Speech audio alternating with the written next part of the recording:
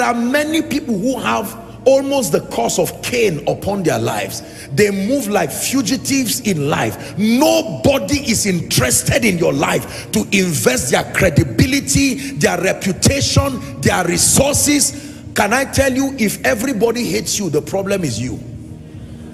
It cannot be, everybody cannot be stupid, demonic. Oh, it's because I love God. My way is different. You are lying. No. It, that would be an insult on the ministry of the Holy Spirit. Human beings have mastered the art of avoiding trouble and they can discern trouble from afar. And when your life becomes a capture of a plethora of troubles. Join Apostle Joshua Selman in a life-changing sermon that explores the depths of God's love and wisdom. Discover practical insights for victorious living and a closer walk with the divine. Don't miss this opportunity to elevate your spiritual journey and experience the extraordinary. Stay tuned. If you want to maintain destiny relationships, there are a few keys that you must learn. Number one, you must rise above what we call competitive jealousy. You will never be able to maintain strategic destiny relationships when you know that you are prone to jealousy. And this is not just an issue of spiritualizing it alone. There is a psychology to this. I have taught you again and i will repeat it. It is not unusual to have this struggle around jealousy when you are in an atmosphere where you see results and then you are alienated from it but i advise you you can never maintain strategic relationships until you rise above competitive jealousy there are people who can never be in any circle except they are the leaders there. If they are not going to lead and call the shots there, they cannot go and sit quietly. It is a dangerous mentality. We got some of this mentality from culture. We got some of this mentality from our past demonic attacks. This is why when we come to the house of God, we allow the washing of the water and by the word. Are we together now? Avoid competitive jealousy. Let me just give you one scripture on this. Proverbs 14, 30. Let's hurry up. Proverbs 14, 30. The Bible says, a sound heart is the life of the flesh, but envy the rottenness of the bones. Envy is a terrible thing. Jealousy. So are you the only one who is dressing like this? Why is it that everybody comes, they are greeting so-so-so person and leaving me? That's always how they are. Oh. I've faced this since I was born it should be a reason to go for a retreat and say lord the same lord is rich unto all. If they have done this to this person i take responsibility. It means there is something i do not understand. My brother or my sister what is the secret behind the favor of god in your life that i'm not seeing in my life? And five minutes of spiritual lecture can deliver you from years of ignorance. For someone this is a prophetic word god is giving you making careless assumptions and walking in competitive jealousy will always put you in trouble. You see this sadly with preachers. You see this with business people. You see this in the house of god. Shouldn't be. In the sky there are no traffic. There's room for everybody. Are we together now? Number two let's hurry up. The second key to maintaining relationships avoid evil speaking slash backbiting. You must avoid it. I'm teaching you this to empower you. You cannot maintain relationships living in an atmosphere that is perpetually about evil speaking and backbiting nobody will accommodate you under that pungent atmosphere. For some of you this is why nobody wants to come around your life. There is nothing else to say except to gossip. There is nothing else to say except to backbite. You see i think it was dr Myles munroe who said losers talk about people. Are we together? Mediocres talk about things but great people talk about ideas never allow yourself to be the habitation of gossip and jealousy. People come around and say hey there is a gist oh. You mean you've been in this abuja in nigeria and you've not heard? Do not allow your atmosphere to be the one that accommodates that pungent spirit. Say amen, amen. you must avoid evil speaking. Avoid backbiting. Some of you will talk about everybody and when there is nobody you will talk about yourself because you just have to say something be delivered from it in the name of Jesus. I'm not being sarcastic. I'm helping you. Listen. Life will be so easy when you know how to attract and keep strategic relationships. I told you relationships are investments. This is how to make the investment. When your atmosphere becomes conducive you will be surprised at the kinds of people who will gravitate to your life. And with them will come every blessing that they carry in their hands when the magi came to jesus they all came together with what they were carrying.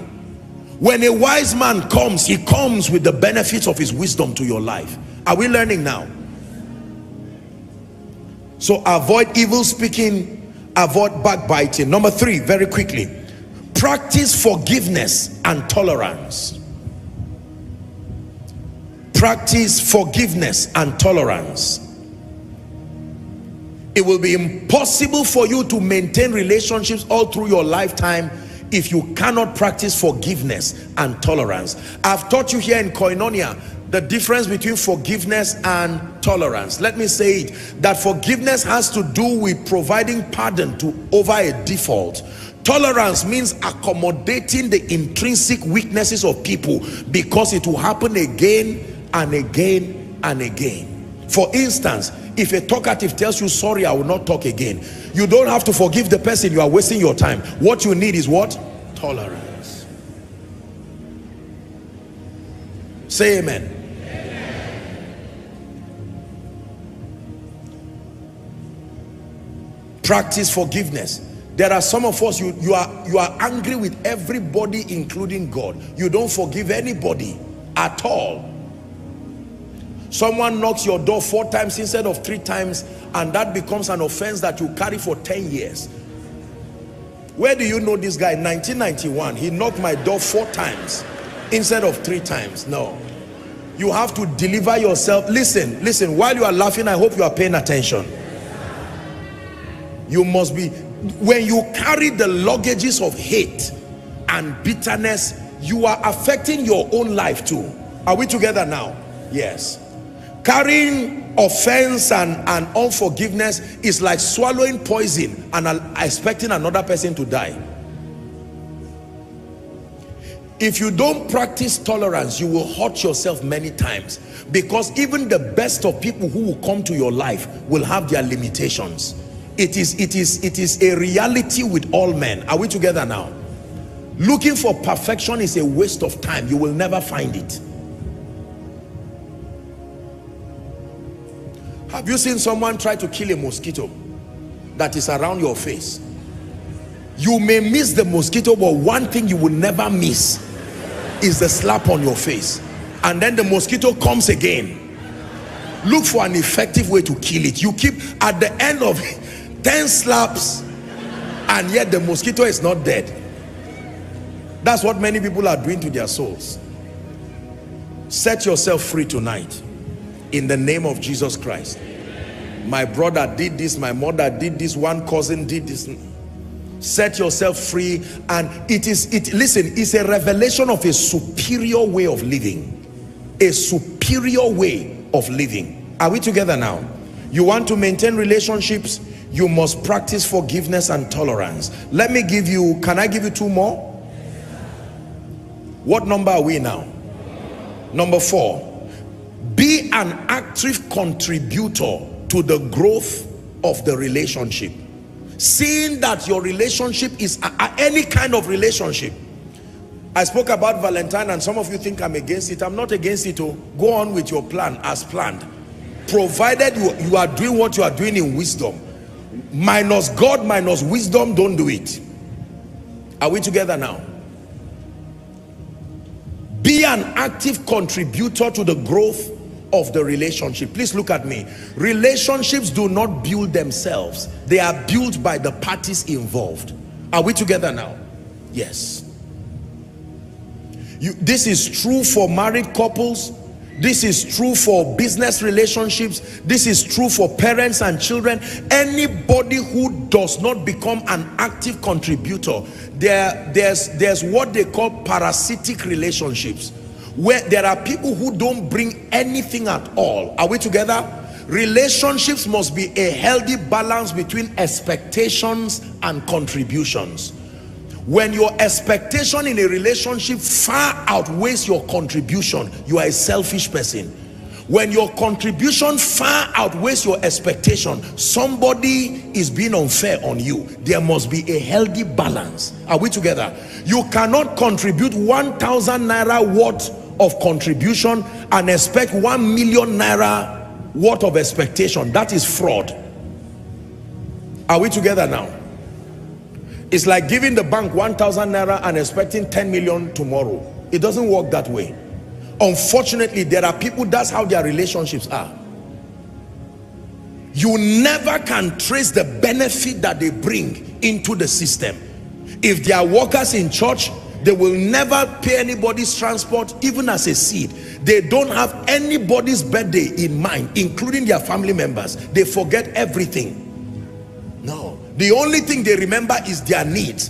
Who has something to say? Me. Well i just want you to know that things are not really all right for me right now.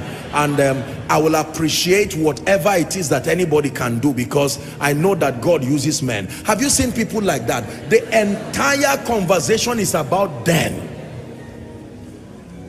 and i love you with all my heart everybody but particularly let me speak to you our dear sisters in the lord. In the name of jesus let me give you counsel. I don't talk so much about this but let me give you an honest counsel.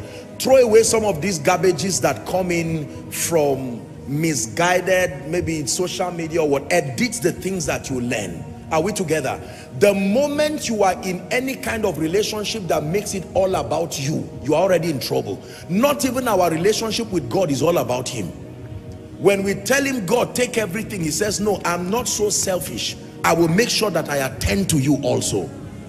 Are we together now? Don't carry that narrative that is all about you. You find this happen all around and people refuse to be active contributors. So we have business partners one is just there like a parasite. Are you awake now? May God bless you. God will help you for us eh? In Jesus name. Hear me.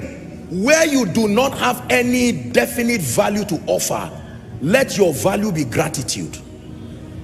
Where you do not have anything definite to offer make sure you keep showering that relationship with a lavish expression of gratitude you are a man and you are not doing anything and your wife is working bringing you money all the time and having the unashamedness to look like a fool before you. My husband i'm submitting to you including this money. Children's school fees she's paid it. House rent she's paid it. And you say thanks. No that's not wisdom. Don't be offended. I'm saying this because i love you.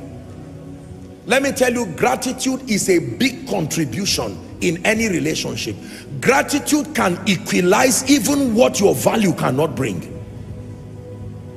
I'm not able to do this but i'm really grateful. I wouldn't have had the money to buy the fuel but thank you for stepping in. I really want you to know that i am i am thoughtful and thankful for what you have done. I think there there is um um i think it's yoruba people that do it that they thank twice. They do that one in the night and then by the next day they do it again. Very healthy practice. Do it. Do it three times in fact. In this in this world you want you want people to remember you. I hope someone is learning. Man of god someone gives you a hundred million naira as a seed in ministry and you have access to know the person. It's not to worship people but don't say i don't care. God provides. It no no don't speak like that. You will be poor and you will struggle in ministry. It's a very honest advice learn to appreciate people sincerely. Your wife treats you well tell her thank you. Don't say i've paid your dowry already. What is my no don't act like that. You're a child of god. Your husband provides and then no matter how wealthy you are train your children to say thank you. This entitlement mentality that is destroying africa. They pay their school fees they do this teach them to say thank you. Are we together now thank you to God and thank you to men there are times you can just pick up your phone and begin to thank the people who have contributed greatly or significantly in your life The corporate organizations understand this. This is why they keep excelling. We in the church are masters of taking people for granted. Pastors, I say this respectfully speaking. When God gives you members and workers who love you and labor day and night, seeing that the work is advanced, don't take them for granted. Find every means within your power to say thank you and repeat it again. And for koinonia workers, thank you. Thank you. And I really mean what I'm saying. Thank you. Our global family, thank you. For all of you who are here, thank you. If you are not here, whether I am anointed or not, that's not the issue. It's one thing to be valuable, but it's another thing for people to believe in you enough to invest their credibility, their attention, their resources, their loyalty. Do not take them for granted. Is someone learning?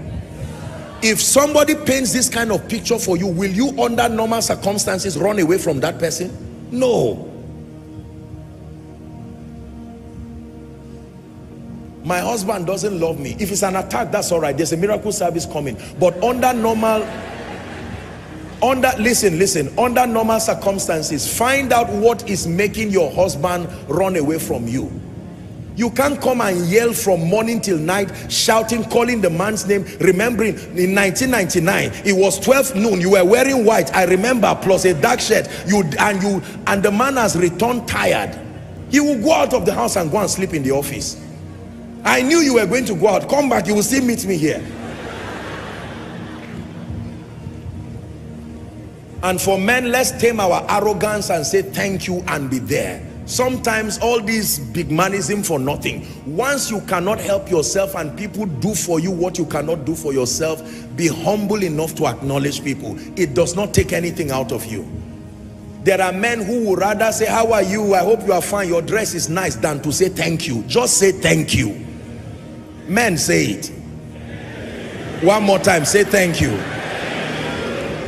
Koinonia men say it. Say thank you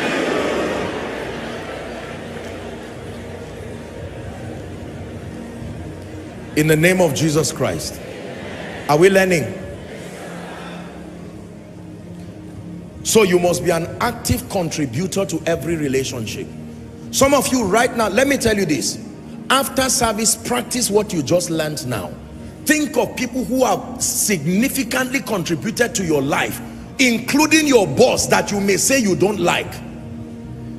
I just want to appreciate you sir. I've learned something. I came to church and I was greatly inspired. Transformation is happening and I've decided to respond just to tell you I'm grateful. Let me tell you what to expect. Most of them will not reply. That does not mean the effect was not created. I'm giving you a teaser so you don't frown and say you see. Mm -mm. that's how it works. They will not reply but the effect has been created. The day promotion will come that's when you will know that text added up to your rising. There are many people who are grounded today because of ignorance become an active contributor. Someone helps you gives you say a loan of one million naira and you rise and now you are a big man and then you are going to his house and you buy orange of 100 naira. Haba, let's be be honest. You carry 100 naira orange that you bought just at a junction near his house. The leather is even torn and you wrap tie it here tie it here and you just say sorry oh. No Politicians understand this. Non-Christians understand this. They are masters of investing into strategic relationship. But church people, because of the presence of the Holy Spirit and other advantages like favor, these things are investment. Start making your investment now. After service, don't match people and push people and run around. You don't know that the person you just push is the doctor that will treat your child if he has malaria. No treat people with honor and with dignity. Are we together now? Don't look at someone say he came for koinonia. He's looking like he's dressed in a rag. He may be wearing rags but something is happening to his mind. And tomorrow when you see the same son of man in power and glory you will bite your finger in regret. Is someone learning? Never be part of any kind of relationship where it is all about giving to you and you are not an active contributor. It doesn't have to be money. Give love and support. If someone decides to invest into your life your children ah, i just called to say um, honorable just to greet you and to ask how you are doing. I hope everything is fine. My prayers and my blessings are with you in jesus name. You have scheduled the season of continuous favor there are many people the day you get a text from them is because another request is coming. Calvary greetings. Just to let you know that uh, i am still here. Two minutes later they just say sorry just to let you know the one million again the rent the way you no you don't act like that. Don't give people memories of pain when they think about you. If you are learning shout amen so my dear brother and my dear sister this may be one of the reasons why people run away from you. It may also be the reason why no kind of relationship seems to work for you. Because you are always thinking about what people will give to you. Or you have very little value and contribution but you have unreasonably high expectation. Believing that everybody will come and give you heaven and earth it doesn't work that way as we conclude this enlightening sermon by apostle joshua selman let the depth of knowledge shared today be a catalyst for your ongoing educational journey apply the principles of wisdom understanding and divine insight in your pursuit of knowledge. Remember, education is not merely about information, but transformation of the mind and spirit. Carry the touch of learning into your studies, professions, and daily life. May you continually grow in wisdom and impart your face of influence positively. Go forth empowered to be a beacon of knowledge and light. Don't forget to like, comment, and share this video with your loved ones. God bless you.